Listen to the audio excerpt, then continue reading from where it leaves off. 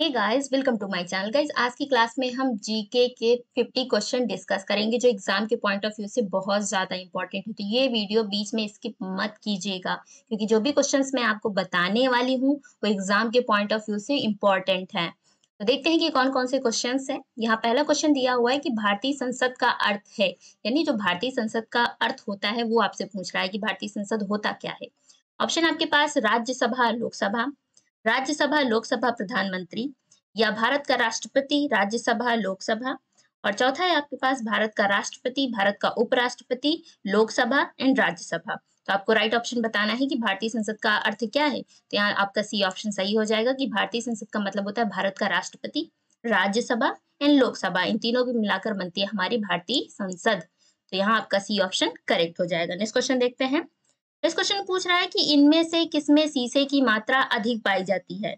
कोयले में, खाना पकाने की गैस में, उच्च आक्टेन वाला ईंधन में या निम्न आक्टेन वाला ईंधन में? तो यहाँ भी आपका सी ऑप्शन सही हो जाएगा कि जो शीशे की मात्रा अधिक पाई जाती है, वो आपकी पाई जाती है उच्च आक्टेन वाले ईंधन में, इन चारों में से। यहाँ सी ऑप्शन आपका करेक्ट हो जाएगा। नेक्स्ट क्वेश्चन पे फोकस करते हैं। नेक्स्ट क्वेश्चन पूछ रहा है कि अर्थशास्त्र की रचना किसने की थी? ये मोस्टली सभी लोगों को पता होगा कि अर्थशास्त्र की रचना किसके द्वारा की गई है। ऑप्शन आपके पास घनानंद, कौटिल्य, बिंबिसार या पुष्पमित्र तो यहाँ आपका बी ऑप्शन सही हो जाएगा। कौटिल कौटिल को और क्या कहा जाता है? ये आपको कमेंट करके बताना है। ये चंद्रगुप्त मौर्य के दरबार में थे, उनके प्रधानमंत्री थे। तो यहाँ आपको बताना है कि कौटिल का दूसरा नाम क्या है, ये आपको कमेंट करके बताना है। नेक्स्ट क्वेश्चन देखते हैं। नेक्स्ट क्वेश्चन पूछ रहा है कि भारत के राष्ट्रवादी नेताओं ने साइमन कमीशन का बहिष्कार क्यों किया था? उसका रीजन क्या था? ऑप्शन आपके पास, वे समझते थे कि यह मात्र दिखावा है। कमीशन के सभी सदस्य अंग्रेज़ थे।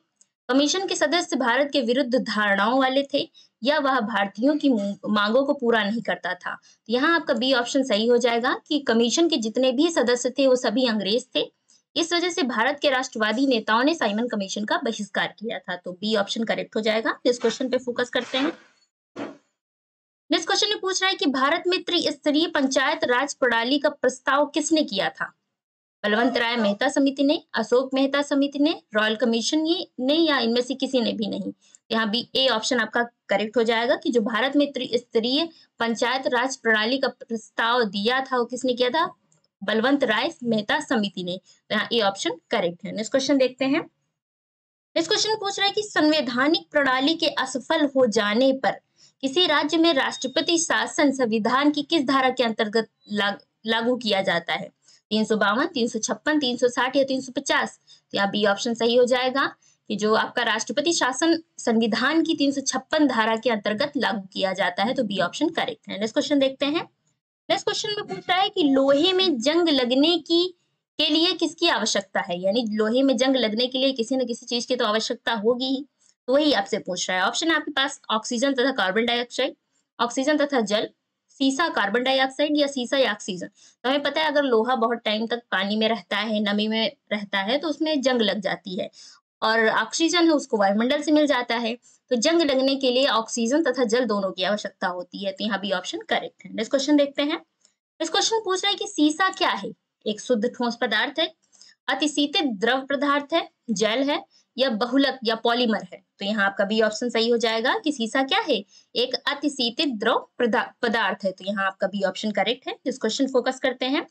इसे पूछ रहा है कि यूरेनियम अंततः किस तत्व के स्थायी आइसोटोप यानी समस्थानिक में बदल जाता है? रेडियम में कोरियम में सीसे में या पोले, पोलोनियम में? तो आपको राइट ऑप्शन बताना है। इसका राइट ऑप्शन क्या हो जाएगा? सी ऑप्शन एकदम करेक्ट हो जाएगा कि जो यूरेनियम है वो सीसा तत्व के स्थायी आइसोटोप में बदल जाता है। ये ऑप्शन करेक्ट है नेक्स्ट क्वेश्चन देखते हैं। इसमें पूछ रहा है कि राष्ट्रीय पर्यावरणीय इंजीनियरिंग अनुसंधान संस्थान कहाँ स्थित है? जगह का नाम आपसे पूछ रहा है। ऑप्शन आपके पास पुणे, दिल्ली, नागपुर या चेन्नई। तो यहाँ जो आपका राइट ऑप्शन हो जाएगा, वो सी ऑप्शन करेक्ट हो जाएगा जो भारतीय पर्यावरणीय इंजीनियरिंग अनुसंधान संस्थान है, वो कहाँ स्थित है आपका? नागपुर में स्थित है। तो सी ऑप्शन करेक्ट है। नेक्स्ट क्वेश्चन देखते हैं। इसमें पूछ है कि संविधान सभा के अध्यक्ष कौन थे? पंडित जवाहरलाल नेहरू, सरदार पटेल, डॉक्टर राजेंद्र प्रसाद या डॉक्टर भीमराव अंबेडकर? तो हाँ सी ऑप्शन करेक्ट हो जाएगा कि जो संविधान सभा के अध्यक्ष थे वो कौन थे? डॉक्टर राजेंद्र प्रसाद थे। तो बी, सी ऑप्शन आपका करेक्ट है। इस क्वेश्चन देखते हैं। इस क्वेश्चन पूछ रहा है कि भारतीय संसद द्वारा विश्व संसदीय प्रणालियों में कौन सी अभिनव चर्चा प्रक्रिया समाविष्ट की गई? प्रश्नकाल, शून्यकाल, संकल्प या राष्ट्रपति का भाषण। तो यहाँ आपका बी ऑप्शन सही हो जाएगा कि भारतीय संसद द्वारा विश्व संसदीय प्रणालियों में शून्यकाल जो था, वो समाविष्ट की गई थी। तो यहाँ बी ऑप्शन आपका करेक्ट हो जाएगा। नेक्स्ट क्वेश्चन देखते हैं। इसे पूछ रहा है कि पोर्टलैंड सीमेंट में जिप्सम मिलाने से मदद मिलती है। यानी अगर पोर्टलैंड सीमेंट में जिप्सम मिला देते हैं तो क्या फ़र्क पड़ता है? क्या इफ़ेक्ट आता है उस पर ऑप्शन आपके पास सीमेंट का सामर्थ्य बढ़ जाता है। सीमेंट के शीघ्र जमने में सहायता करता है।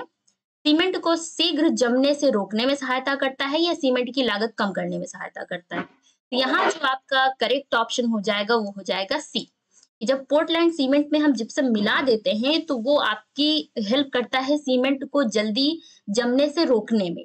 यानी पोर्टलैंड सीमेंट में अगर जिप्सम मिला देंगे तो जो सीमेंट होगा, वो जल्दी नहीं जमेगा। तो यहाँ सी ऑप्शन एकदम करेक्ट है। नेक्स्ट क्वेश्चन देखते हैं।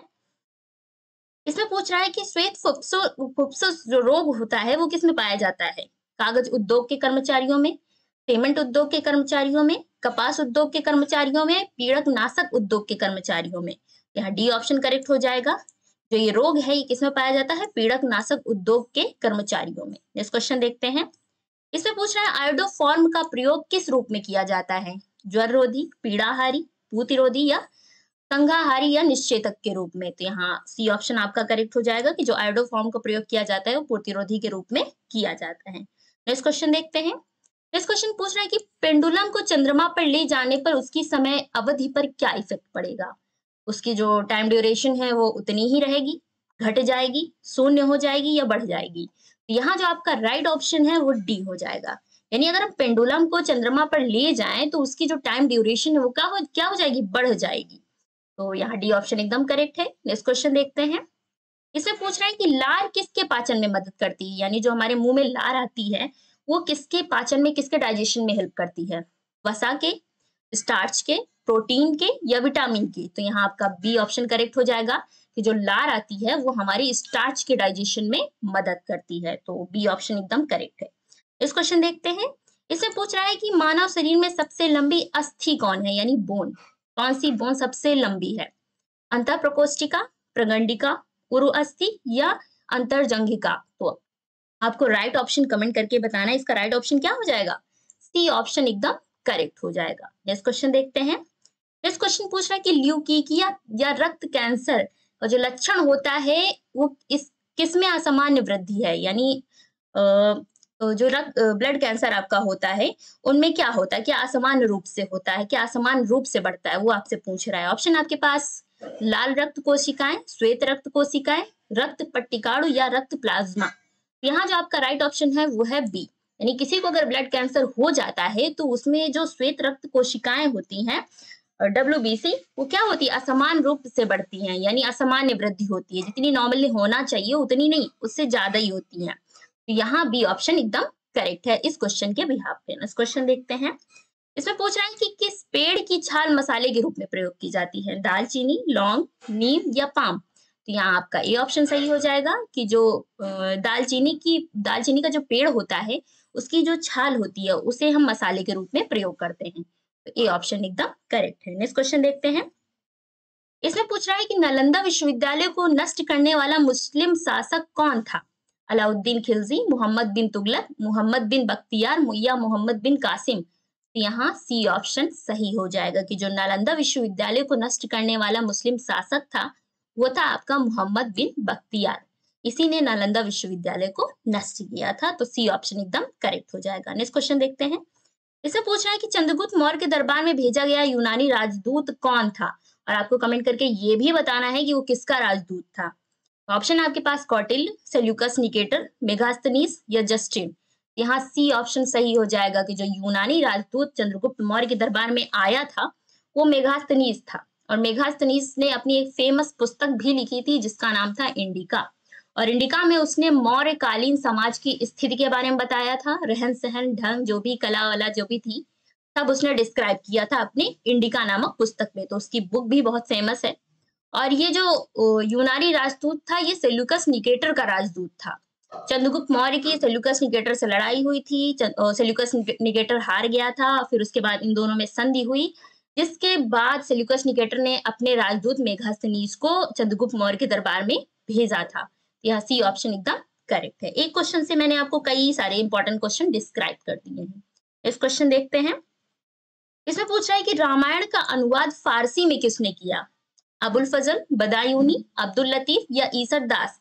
तो यहाँ जो आपका करेक्ट ऑप्शन है, वो है ऑप्शन नंबर बी रामायण का अनुवाद फारसी में किसने किया था? बदायूनी ने। और आपको कमेंट करके बताना है कि रामायण का अनुवाद इंग्लिश में किसने किया था। तो आपको कमेंट करके नाम बताना है। नेक्स्ट क्वेश्चन देखते हैं। इसमें पूछ रहा है कि ब्रिटिश व्यक्तियों में से किसने स्वीकार किया था कि अठारह सौ सत्तावन का विद्रोह एक राष्ट्रीय विद्रोह था?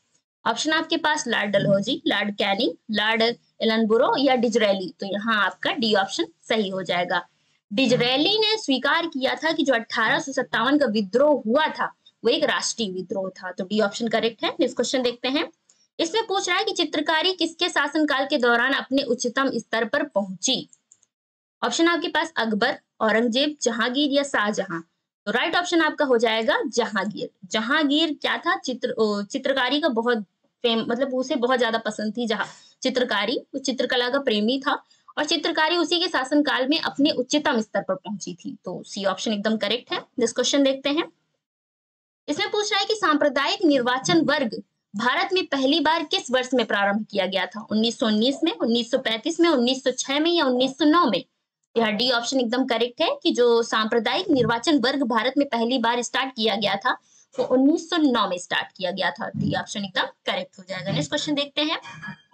इसमें पूछ रहा है कि हुएन सांग किसके शासनकाल के दौरान भारत आया था? चंद्रगुप्त प्रथम, चंद्रगुप्त द्वितीय, हर्षवर्धन या रुद्र दामन यहाँ जो राइट ऑप्शन है, वो है आपका सी हुएन सांग जो था चीनी यात्री था, और वो हर्षवर्धन के समय समय में भारत आया था। तो यहाँ सी ऑप्शन सही हो जाएगा। नेक्स्ट क्वेश्चन देखते हैं। नेक्स्ट क्वेश्चन में पूछ रहा है कि वापस वेदों की ओर का जो आवाहन किया था, वो किसने किया था? स्वामी विवेकानंद ने, स्वामी दयानंद ने, अरविंद घोष ने या राजा राम मोहन राय ने? तो यहाँ बी ऑप्शन करेक्ट हो जाएगा। वापस वेदों की ओर का आवाहन किया था स्वामी दयानंद सरस्वती ने। तो बी ऑप्शन एकदम करेक्ट है। नेक्स्ट क्वेश्चन देखते हैं। इसमें पूछ रहा है कि किसी निश्चित समय अवधि में किसी देश में उत्पादित वस्तुओं और सेवाओं के कुल मूल्य को क्या कहते हैं? प्रयोज्य आय, राष्ट्रीय आय प्रति व्यक्ति आय या निवल राष्ट्रीय आय?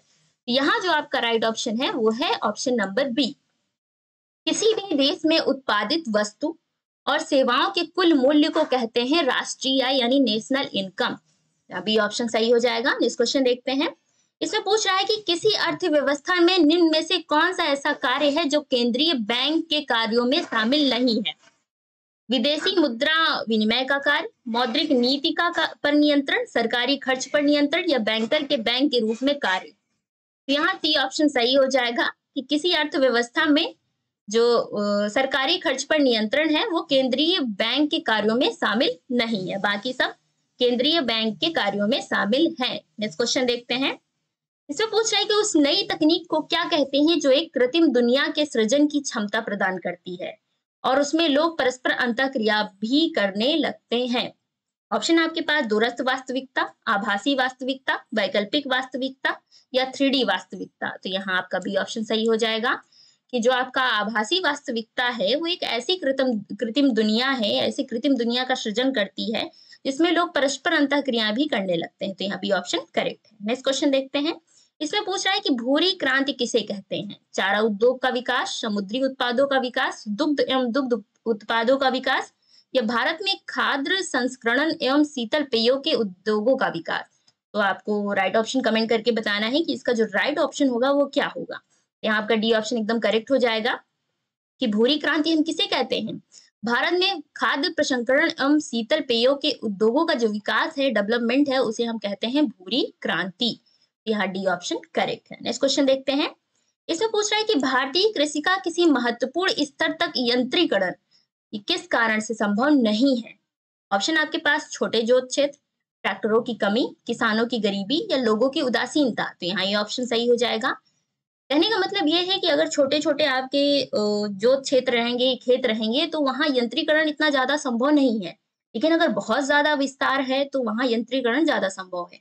यहाँ यही ऑप्शन सही हो जाएगा, यही एक आपका रीजन है इस क्वेश्चन देखते हैं इसमें पूछ रहा है कि हीलियम से भरा गुब्बारा वायु में उड़ने लगता है क्यों आपने देखा होगा कि कहीं-कहीं ऐसे गुब्बारे आपको खरीदने के लिए मिल जाएँगे जो हवा में उड़ते रहते हैं। उन्हें आप छोड़ दीजिए अपने आप वायुमंडल में उड़ जाएँगे, यानी आपको हवा में अपने आप उड़ जाते हैं। तो उसमें जो गैस भरी होती है, वो भरी होती है हीलियम। वो हीलियम गैस की वज़ह से उड़ जाते हैं। तो वही रीज़न आपसे पूछ रहा है कि ऐसा क्या रीज़न है कि हीलियम से भरा गुब्बारा वायु में उड़ने लगता है? ऑप्शन आपके पास वायु से गुब्बारे को ऊपर उठने उठने का बल मिलता है, गुब्बारा भारहीन हो जाता है, हीलियम का घनत्व वायु से कम होता है या हीलियम गुब्बारे के नीचे से वायु को हटा देती है। तो यहाँ जो आपका करेक्ट ऑप्शन है वो है सी। जो हीलियम गैस है उसका जो घनत्व घनत्व होता है डेंसिटी वो वायु से कम होती है। इस वजह से जो हीलियम से भरा गुब्बारा होता है वो वायु में उड़ने लगता है। तो सी ऑप्शन आपका एकदम करेक्ट है। नेक्स्ट क्वेश्चन देखते हैं। इसमें पूछ रहा है कि समुद्र समीर बनती है यानी किस टाइम बनती है समुद्र समीर? दिन के समय बनती है, रात के समय बनती है, दोनों समय बनती है या मौसमी यानी मौसम के अकॉर्डिंग बनती है? यहाँ जो आपका राइट ऑप्शन है वो है ए। जो समुद्र समीर बनती है वो दिन के समय बनती है। तो ये ऑप्शन आपका करेक्ट हो जाएगा। नेक्स्ट क्वेश्चन देखते हैं। इसमें पूछ रहा है कि कोई व्यक्ति सूक्ष्मदर्शी और दूरदर्शी यंत्रों में अंतर क्या देखकर जान सकता है? यानी अगर किसी व्यक्ति के सामने सूक्ष्मदर्शी और दूरदर्शी यंत्र दोनों रख दिए जाएँ, तो कैसे पहचान करेगा कि इसमें सूक्ष्मदर्शी कौन सा है और दूरदर्शी कौन सा है? ऑप्शन आपके पास लंबाई देखकर, रंग, लेंस का प्रकार, सॉरी लेंस का आकार या लेंस की लंबाई और आकार। यहाँ डी ऑप्शन सही हो जाएगा कि कोई भी व्यक्ति अगर उसके सामने दोनों यंत्र रख दिए जाएँ, तो लेंस की लंबाई और आकार को देखकर ये डिटरमाइन कर पाएगा कि इसमें से सूक्ष्मदर्शी कौन है और दूरदर्शी यंत्र कौन सा है। तो डी ऑप्शन आपका करेक्ट है। नेक्स्ट क्वेश्चन देखते हैं। इसमें पूछ रहा है कि कुचिपुड़ी नृत्य नाटक किस राज्य से संबंधित है? सभी राज्य के अपने अपने एक फ़ेमस नृत्य होते हैं तो यहाँ कुचिपुड़ी के बारे में पूछ रहा है कि कुचिपुड़ी नृत्य नाटक जो है वो किस राज्य से रिलेटेड है? असम से, उड़ीसा से, आंध्र प्रदेश से या मणिपुर से? तो यहाँ जो आपका राइट ऑप्शन है वो ऑप्शन नंबर बी है। जो कुचिपुड़ी है, वो आपका आंध्र आंध्र प्रदेश का फ़ेमस नाटक, नृत्य नाटक है। तो बी ऑप्शन करेक्ट हो जाएगा। नेक्स्ट क्वेश्चन देखते हैं। ये आपका केमिस्ट्री से रिलेटेड क्वेश्चन है, जिसमें पूछ रहा है कि एक्स किरणों की खोज किसने की थी? ऑप्शन आपके पास फेराडे रोइंटजेन एच या लेवोजियर तो यहाँ आपका जो राइट ऑप्शन है, वो है ऑप्शन नंबर बी जो एक्स किरणें होती हैं, जिनकी हेल्प से हम एक्सरे कर पाते हैं। तो जो एक्सरे होता है, उसमें एक्स किरणों का ही यूज़ होता है और एक्स किरणों की खोज किसने की थी? रोइंटजेन ने की थी। यहाँ आपका बी ऑप्शन करेक्ट है। नेक्स्ट क्वेश्चन देखते हैं। इसमें पूछ रहा है कि भारत के पूर्वी तट का एक मुख्य बंदरगाह कौन सा है? यानी चार ऑप्शन है। जिनमें से एक आपको डिटरमाइन करना है कि पूर्वी तट का मुख्य बंदरगाह कौन सा है। ऑप्शन आपके पास कांडला विशाखापट्टनम करिकल या पांडिचेरी। यहाँ आपका बी ऑप्शन सही हो जाएगा। जो विशाखापट्टनम बंदरगाह है, वो भारत के पूर्वी तट का मुख्य बंदरगाह है। यहाँ आपका बी ऑप्शन करेक्ट है। नेक्स्ट क्वेश्चन देखते हैं। शहद की मक्खी का विष कैसा होता है? यानी शहद की जो मक्खी होती है, जो मक्खी शहद बनाती है, आपने शहद खाया होगा, वो मक्खी द्वारा ही जनरेट किया जाता है। तो जो मक्खी होती है, उसका विष जब डंक मारती है तो उसमें कुछ ना कुछ पॉइजन आ जाता है हमारी बॉडी में, जिसकी वजह से स्वेलिंग आ जाती है। तो उसका जो विष होता है, वो कैसा होता है? अम्ली यानी एसिडिक होता है छारी होता है, नमकीन होता है या प्रोटीन होता है? यहाँ जो ए ऑप्शन वो सही हो जाएगा कि जो शहद की मक्खी का विष होता है वो अम्ली होता है। ए ऑप्शन एकदम करेक्ट है। नेक्स्ट क्वेश्चन देखते हैं। इस क्वेश्चन पूछ रहा है कि संचार नेटवर्क जिसका प्रयोग बड़ी संस्थानों द्वारा प्रादेशिक, राष्ट्रीय और वैश्विक क्षेत्र में किया जाता है, वो क्या कहलाता है? लैन वैन मैन या वैन तो यहाँ जो आपका राइट ऑप्शन हो जाएगा, वो बी हो जाएगा। लैन मतलब होता है लोकल एरिया नेटवर्क वैन एरिया वैन मतलब होता है world area network world area network में क्या होता है? हम वर्ल्ड में जैसे अदर कंट्री से दूसरे अगर दो कंट्रियाँ हैं तो दोनों कंट्री के जो कंप्यूटर हैं या कोई अलग इलेक्ट्रॉनिक आइटम्स हैं, वो आपस में कनेक्ट कर पाएँगे। ऐसा नेटवर्क होता है वैन तो यहाँ हम वैन सही हो जाएगा। बी ऑप्शन एकदम करेक्ट हो जाएगा। नेक्स्ट क्वेश्चन देखते हैं। खाने पकाने का तेल वनस्पति घी में किस प्रक्रिया द्वारा बदला जाता है? यानी जो खाना पकाने का तेल होता है, उसे हम वनस्पति घी में किस प्रकार परिवर्तित करते हैं? किस प्रक्रिया के द्वारा परिवर्तित करते हैं? ऑप्शन है ना आपके पास क्रिस्टलन द्वारा, संघनन द्वारा हाइड्रोजनीकरण द्वारा या ऑक्सीकरण द्वारा। तो यहाँ आपका सी ऑप्शन सही हो जाएगा। कि जो खाना पकाने का तेल होता है, वनस्पति घी में हाइड्रोजनीकरण द्वारा ट्रांसफ़र होता है, यानी चेंज होता है कन्वर्ट होता है। यहाँ सी ऑप्शन करेक्ट है नेक्स्ट क्वेश्चन देखते हैं। इसमें पूछ रहा है कि काफ़ी संख्या में कम समय में ही एक जैसे पौधे किस प्रणाली से उत्पन्न किए जा सकते हैं? ऑप्शन आपके पास, एक ही पौधे के बहुत सारे बीजों से तने काटकर ऊतक संवर्धन तकनीक से या जन संवर्धन विधि से। यहाँ सी ऑप्शन आपका सही हो जाएगा कि ऊतक संवर्धन तकनीक से हम एक ही टाइम पे कई सारे पौधे इकट्ठ, यानी जनरेट कर सकते हैं, उगा सकते हैं। यहाँ सी ऑप्शन करेक्ट हो जाएगा। नेक्स्ट क्वेश्चन देखते हैं। इसे पूछ रहे हैं कि यदि कोई दंड चुंबक दो बराबर हिस्सों में काट दिया जाए तो प्रत्येक टुकड़े की ध्रुवीय शक्ति पर क्या प्रभाव पड़ेगा? यानी अगर कोई चुंबक है, जो कि जिसमें दो क्या है दो पोल हैं, एक साउथ की तरफ़ है, एक नॉर्थ की तरफ़ है। दो ही पोल होते हैं चुंबक के, एक नॉर्थ पोल होता है, एक साउथ पोल होता है।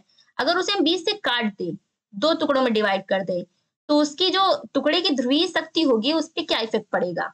दोगुनी हो जाएगी, आधी हो जाएगी, शून्य हो जाएगी या यथावत रहेगी।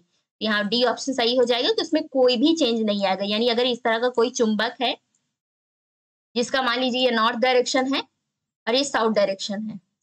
इसे हम बीच से काट देते हैं तो इस पे कोई भी इफ़ेक्ट नहीं पड़ेगा इसकी ध्रुवीय शक्ति पर। यही आपसे पूछ रहा था। तो यहाँ डी ऑप्शन सही है। इस क्वेश्चन पूछ रहा है कि चमगादड़ की ध्वनि कैसी होती है? श्रव्य होती है अवध्वानिक होती है, अश्रव्य होता है या प्राश्रव्य होती है? यहाँ डी ऑप्शन सही हो जाएगा कि चमगाड़ चमगादड़ की जो ध्वनि होती है, वो क्या होती है? पराश्रव्य होती है। नेक्स्ट क्वेश्चन देखते हैं। इसमें पूछ रहा है कि ऑल इंडिया मुस्लिम लीग की स्थापना किसने की थी? ये क्वेश्चन कई बार हम रिपीट कर चुके हैं। चैनल पे जाइए प्लेलिस्ट में देखिए, कई सारे वीडियोस वहाँ आपको मिल जाएँगी, जो पिछले प्रीवियस ईयर के क्वेश्चन पेपर से रिलेटेड है, उन्हें ज़रूर से ज़रूर देख लीजिए, आपको बहुत ज़्यादा हेल्प करेंगे अच्छे मार्क्स गेन करने में। फ़िलहाल हम इस क्वेश्चन पे फोकस करते हैं कि ऑल इंडिया मुस्लिम लीग की स्थापना किसने की थी? मौलाना अहमद अली ने, मोहम्मद अली जिन्ना ने, आगा खान ने या हकीम अजमल खान ने? यहाँ सी ऑप्शन सही हो जाएगा कि ऑल इंडिया मुस्लिम लीग की स्थापना किसने की? आगा खान ने की थी। तो सी ऑप्शन एकदम करेक्ट है। नेक्स्ट क्वेश्चन देखते हैं। इसे पूछ रहा है कि संयुक्त राष्ट्र संघ के सदस्य देशों में विश्व शांति तथा उसकी सुरक्षा की प्राथमिक ज़िम्मेदारी किसने सौंपी है? सामान्य सभा को सौंपी गई है। आर्थिक तथा सा, आ, सामाजिक परिषद को सौंपी गई है। सुरक्षा परिषद को सौंपी गई है। अंतरराष्ट्रीय न्यायपीठ को सौंपी गई है। तो यहाँ सी ऑप्शन सही हो जाएगा। जो संयुक्त राष्ट्र संघ है, उसके सदस्य देशों ने विश्व शांति तथा उसकी सुरक्षा की प्राथमिक ज़िम्मेदारी सुरक्षा परिषद को सौंपी है। तो सी ऑप्शन करेक्ट है नेक्स्ट क्वेश्चन देखते हैं। इसे पूछ रहा है, अंतरराष्ट्रीय सुनामी चेतावनी प्रणाली को कब अपनाया गया था? 2004 में 2006 में 2005 में 2007 में? यहाँ बी ऑप्शन सही हो जाएगा कि अंतरराष्ट्रीय सुनामी चेतावनी प्रणाली को 2005 में अपनाया गया था। नेक्स्ट क्वेश्चन देखते हैं। वायुमंडल की सबसे नीचे की परत कौन सी है? ये भी कई बार मैं रिपीट करा चुकी हूँ क्वेश्चन ऑप्शन आपके पास समताप मंडल, बाह मंडल, क्षोभ मंडल या मध्य मंडल। यहाँ से ऑप्शन सही हो जाएगा कि वायुमंडल की सबसे नीचे की परत है, उसे हम कहते हैं क्षोभ मंडल। और जो समताप मंडल है, समताप मंडल में आपकी ओजोन लेयर पाई जाती है। ये क्वेश्चन भी पूछा गया है कि ओजोन लेयर किस मंडल में पाई जाती है? तो आपकी समताप मंडल में पाई जाती है। और इसका काम क्या है ओजोन लेयर का? कि जो आपकी सूर्य से पराबैंगनी किरणें आती हैं, उसे वो अवशोषित कर लेता है। पृथ्वी तक नहीं आने देता। अगर आपका समताप मंडल में ओजोन लेयर नहीं होगी तो क्या होगी? पराबैंगनी किरणें डायरेक्ट पृथ्वी पर आएँगी और लोगों को स्किन कैंसर की प्रॉब्लम हो सकती है। तो यहाँ आपका इस क्वेश्चन के बिहार पे सी ऑप्शन सही है। इस क्वेश्चन देखते हैं और लास्ट क्वेश्चन भी। इसमें पूछ रहा है कि 2012 ओलंपिक खेलों में निम्नलिखित किस देश का प्रथम स्थान था? चीन का, फ्रांस का, संयुक्त राज्य अमेरिका का या ऑस्ट्रेलिया का? यहाँ सी ऑप्शन सही है कि 2012 में जो ओलंपिक खेल हुए थे, उसमें संयुक्त राज्य अमेरिका जो था, वो प्रथम स्थान पर था। तो इस वीडियो में हमने टोटल 50 क्वेश्चंस डिस्कस कर लिए हैं, जो कि आपके जनरल नॉलेज यानी फ़र्स्ट पेपर के फ़र्स्ट पार्ट से रिलेटेड है। सभी इंपॉर्टेंट क्वेश्चन है एग्ज़ाम के पॉइंट ऑफ़ व्यू से तो आप वीडियो ज़रूर कंप्लीट देखिएगा। वीडियो अच्छा लगे तो प्लीज़ वीडियो को लाइक कर दें चैनल को सब्सक्राइब करना ना भूलें। इस वीडियो को देखने के लिए आपका बहुत बहुत धन्यवाद। Thank you